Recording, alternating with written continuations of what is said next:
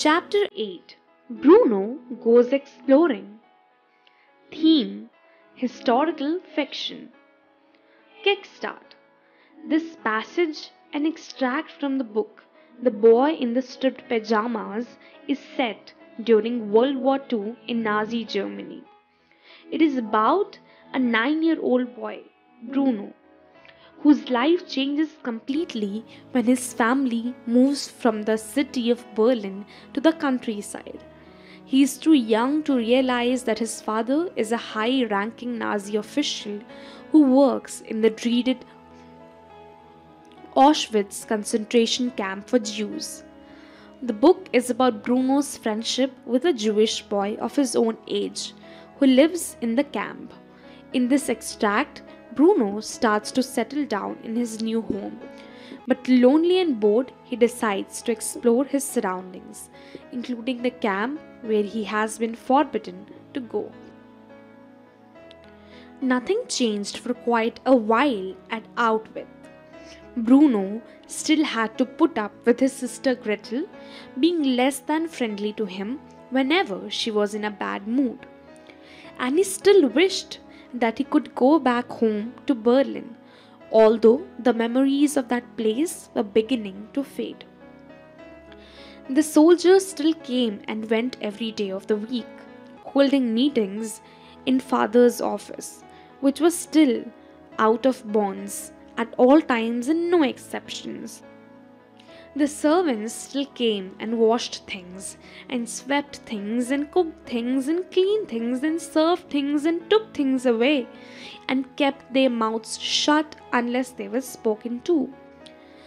But then things changed. Father decided it was time for the children to return to their studies, and although it seemed ridiculous to Bruno that school should take place when there were only two students to teach. But mother and father agreed that a tutor should come to the house every day and fill their mornings and afternoons with lessons. A few mornings later, a man called Herr Liszt rattled up the driveway on his bone shaker, and it was time for school again. Herr Liszt was a mystery to Bruno although he was friendly enough most of the time, never raising his hand to him like his old teacher in Berlin had done, some, something in his eyes made Bruno feel there was anger inside him just waiting to get out. Herr Liszt was particularly fond of history and geography, while Bruno preferred reading and art. Those things are useless to you, insisted the teacher. A sound understanding of the social sciences is far more important in this day and age. But aren't books important? asked Bruno. Books about things that matter in the world, of course, explained Herr Liszt. But not storybooks, not books about things that never happened. How much do you know of your history anyway, young man? Well, I know I was born on April the 15th, 1934, said Bruno. Not your own personal history, interrupted Herr Liszt. I mean the history of who you are, where you come from, your family's heritage, the fatherland. Bruno frowned. He wasn't entirely sure that father had any land because although the house in Berlin was large and comfortable, there wasn't very much garden space around it. And he was old enough to know that Outwith did not belong to them despite all the land there. Not very much, he admitted finally. Although I know quite a bit about the Middle Ages. I like stories about knights and adventure and exploring. Herr Liszt shook his head angrily. Then this is what I am here to change, he said in a sinister voice.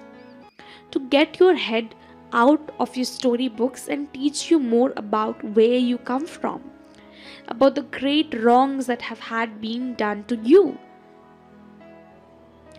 Bruno nodded and felt quite pleased as he assumed that he would finally be given an explanation for why they had all been forced to leave their comfortable home and come to this terrible place, which must have been the greatest wrong ever committed to him in his short life. Sitting alone in his room, a few days later, Bruno started thinking about all the things he liked to do at home that he hadn't been able to do since he had come out to Outwith. Most of them came about because he no longer had any friends to play with. But there was one thing that he was able to do on his own. He had done it all the time back in Berlin, and that was exploring. When I was a child, Bruno said to himself. I used to enjoy exploring. I have never really done any exploring here. Perhaps it's time to start. Bruno jumped off his bed and rummaged in his wardrobe for an overcoat and an old pair of boots, the kinds of clothes he thought a real explorer might wear, and prepared to leave the house.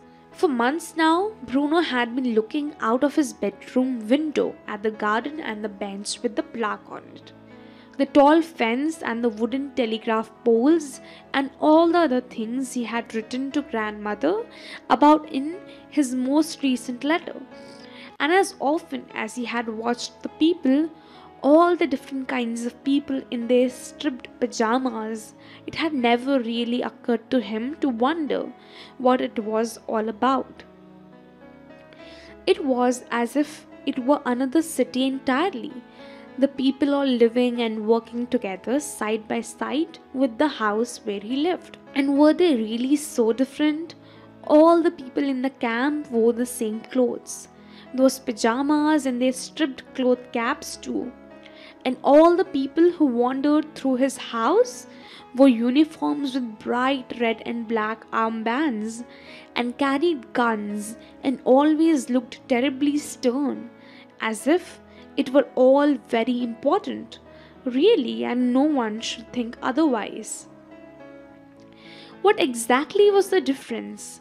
He wondered to himself and who decided which people wore the stripped pajamas and which people wore the uniforms. Of course, sometimes the two groups mixed. He had often seen the people from his side of the fence on the other side, and it was clear that they were in charge. The pajama people all jumped to attention whenever the soldiers approached, and sometimes they fell to the ground, and sometimes they didn't even get up and had to be carried away instead. It's funny that I have never wondered about those people, Bruno thought. And it's funny that when you think of all the times the soldiers go over there, and he had even seen father go over there on many occasions, that none of the stripped pajama people had ever been invited back to the house. Leaving the house, Bruno went round the back and looked up towards his own bedroom window. He looked as far as to his right as he could see, and the tall fence seemed to carry on in the sunlight, and he was glad that it did because it meant that he didn't know what was up ahead and he could walk and find out, and that was what exploration was all about after all. Before heading off in that direction, though, there was one final thing to investigate, and that was the bench. All these months he had been looking at it and staring at the plaque from a distance and calling it the bench with the plaque. But he still had no idea what it said. Looking left and right to make sure that no one was coming, he ran over to it and squinted as he read the words. It was only a small bronze plaque, and Bruno read it quietly to himself, presented on the occasion of the opening of he hesitated. Out with camp, he continued, stumbling over the name as usual. June 1940. He reached out and touched it for a moment, and the bronze was very cold. So he pulled his fingers away before taking a deep breath and beginning his journey. The one thing Bruno tried not to think about was that he had been told on countless occasions by both mother and father that he was not allowed to walk in this direction, that he was not allowed anywhere near the fence or the camp, and most particularly that exploration was banned at Outwith, with no exceptions. John Boyne